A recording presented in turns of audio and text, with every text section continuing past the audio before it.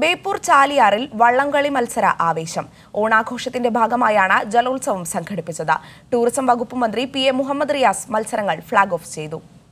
ഇരു പാലങ്ങളിലും ഇരു കരകളിലും ആയിരങ്ങൾ കാണികളായി ഓണക്കാഴ്ചയുടെ ഉത്സവമായി മാറി ബേപ്പൂർ ചാലിയാറിലെ ജലമഹോത്സവം.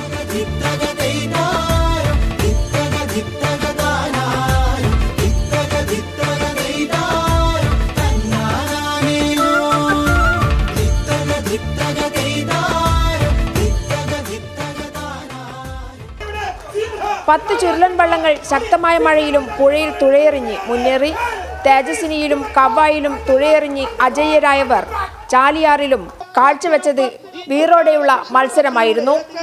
A K G Mayyicha A K G Podothuruthi E M S Krishnapillai Vayalkkara Mayyicha Vayalkkara Vengad Palichon അഞ്ചാം തുരുത്തി റെഡ് സ്റ്റാർ കാര്യങ്കോട് ന്യൂബ്രോ മയ്യച്ച എന്നിവരാണ് കടലിന്റെയും പുഴയുടെയും സംഗമവേദിയിൽ തുഴയെറിഞ്ഞത്.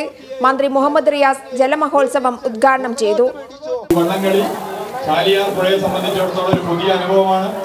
മലബാറിലേക്ക് കൂടി വള്ളംകളി വ്യാപിപ്പിക്കുവാൻ വേണ്ടിയിട്ടുള്ള ഉദ്ദേശത്തിന്റെ ഭാഗമായി ടൂറിസം വകുപ്പും സർക്കാരും എടുത്ത നിലപാടിനെ പരിപൂർണ വിജയമാക്കി മാറ്റിത്തരുന്ന ഇതിന്റെ സംഘാടകരെയും മത്സരത്തിന്റെ ഇടവേളകളിൽ ലൈഫ് ബോട്ട് കയാക്കിങ്ങും ഒഴുകുന്ന തിരുവാതിരയും ശിങ്കാരിമേളവും കാണികളെ ഹരം കൊള്ളിച്ചു.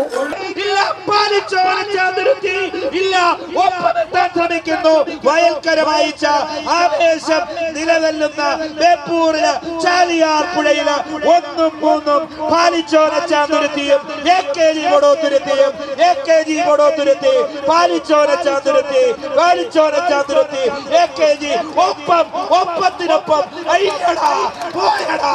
എന്തൊരു വരവ് എന്തൊരു ശക്തി.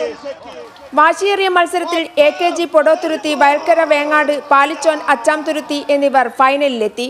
ഫിനിഷിംഗ് പോയിന്റിൽ എ കെ ജി പൊടോത്തുരുത്തിയെ കടത്തിവെട്ടി. പാലിച്ചോൻ അച്ചാംതുരുത്തി വിജയികളായി. കൈരൽ ന്യൂസ് കോഴിക്കോട്.